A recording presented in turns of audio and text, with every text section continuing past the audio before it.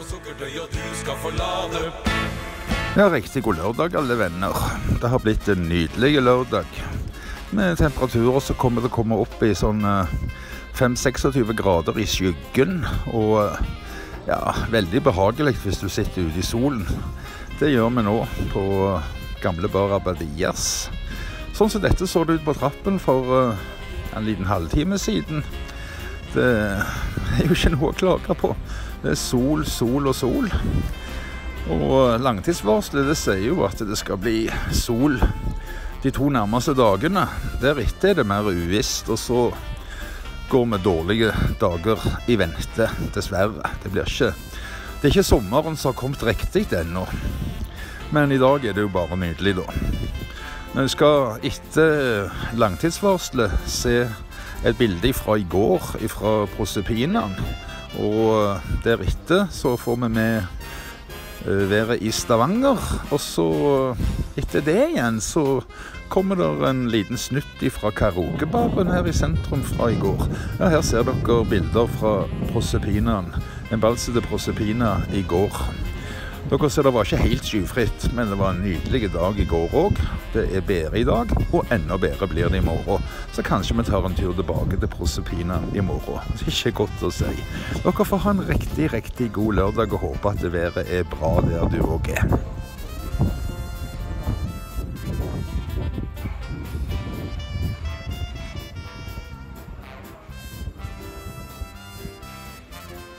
Stavanger, the most beautiful city.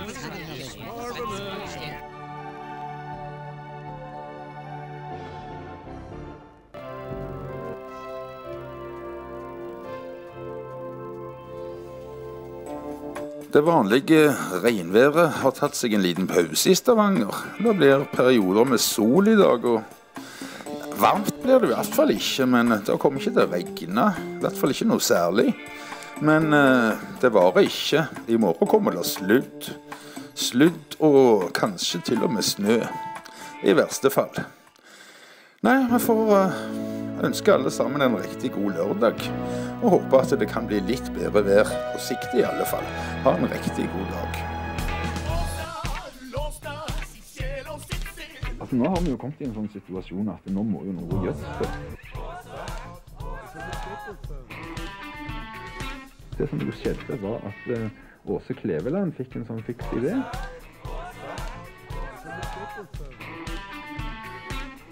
Så at nå skal det kun være én lokal-TV i hver region. Det er hedenskap.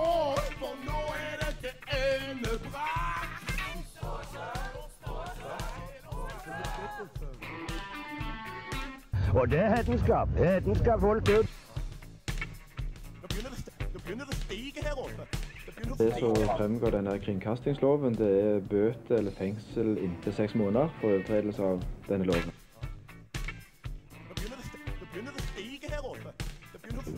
Stige. Da var det sånn de jobba under krigen òg, for å finne disse her sabotørene. Hedenskap folk ut. For nå er det til.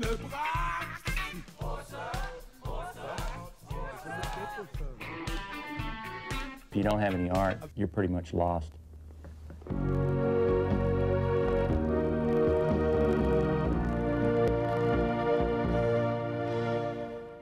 Hedenskap folk ut uten Son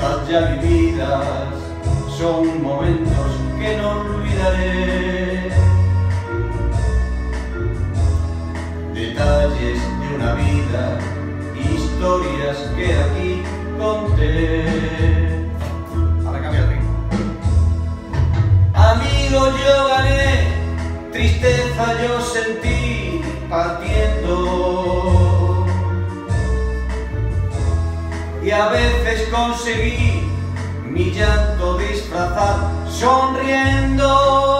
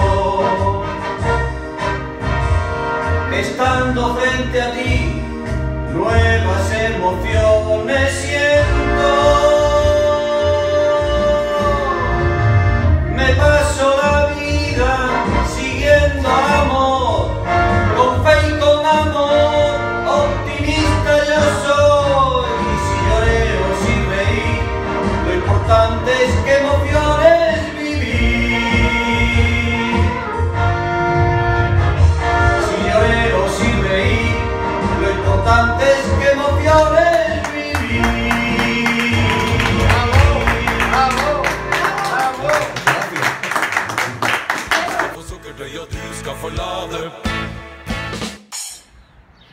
Ja, la amigos. Så har det blitt mandag med dårlig vær. Ja, Iallfall ganske overskya vær, som dere ser. Det er ikke så mye positivt som går an å si om dette været. Bortsett fra at det ikke regner, da. Men det er det òg meldt utrygt for. Det kan begynne å regne allerede i kveld. Og i morgen er det mer eller mindre helt sikkert at det kommer regn. Det er jo veldig trist, da, for at, eh, vi venter jo gjester fra Norge. Og de har jo ikke lyst til å oppleve regn i mer i det. ikke vi heller, selvfølgelig. Rett bakom her nå så driver de med det jeg vil kalle for miljøterror. Fagforeningen PSOE de hadde et veldig fint kontorlokale. Men eh, det ble for lite for de, så de har bygd et nytt bygg. Et heslig bygg, det er en annen sak. Men eh, de som har kjøpt det nye nå, de har fjerna alle trærne og alle palmene. Altså, det er rett og slett regelrett miljøkriminalitet, det de driver med der.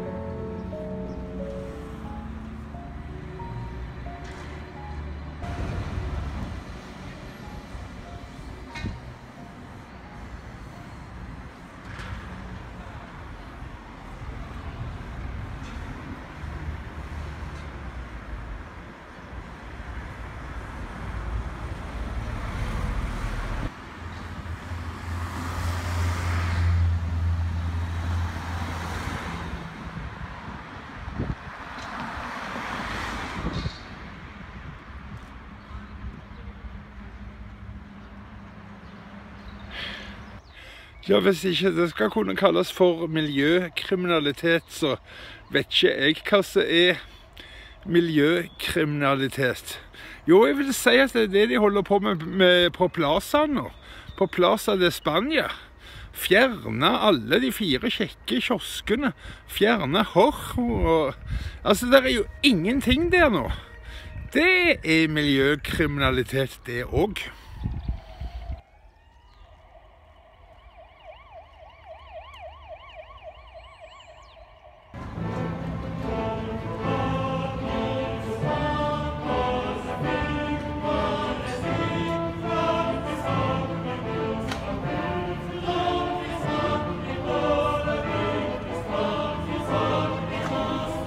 I fjor sommer var det noen idioter i bystyret her i Merida som fikk det for seg at Plaza de Spania ikke var fin nok. Så nå har de revet hele dritten. Alle de fire koselige kioskene. Hauha er vekke, alt er vekke.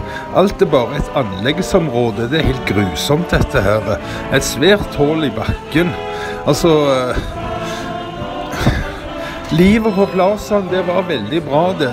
Vi trenger ikke ha noen sånne avanserte Oslo-greier med eh, sånne eh, Aker Brygge-greier med stål og glass og betong.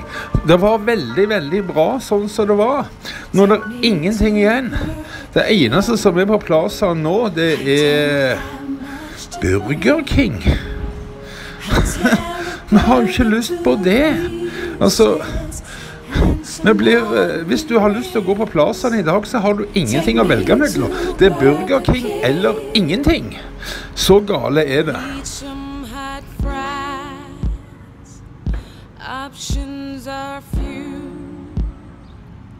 It's getting late. Dude, Taco Bell down. Domino's too. I can't fake what's left to do. So hungry I'm weak, no strength to drive. Can't find the ride as much as I'm trying, and my stomach refuses to be quiet. Mhm. A whopper will change my life. Take me to det ser ut dette kan gå ut over kulturbudsjettet til Merida. For se her på aviskiosken. Se hva de har reklame for. Taterfestivalen i år?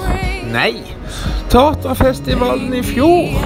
Det er jo det er en skandale hvis Taterfestivalen blir avlyst pga. at de bruker pengene på å promotere Burger King. Please take me to Burger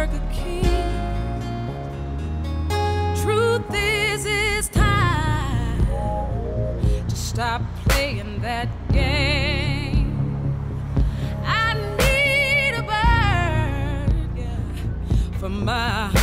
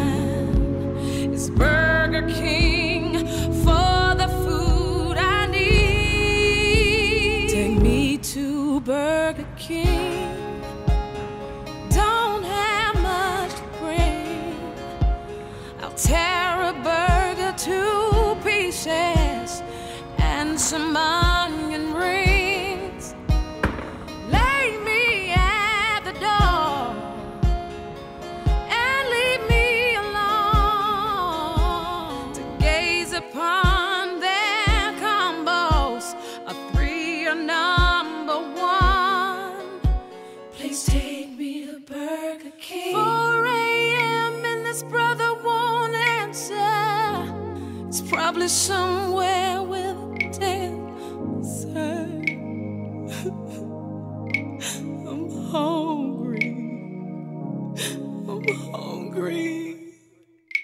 Take me to Burger King. I don't have much to bring. I'll tear a burger to pieces and some onion rings. Lay me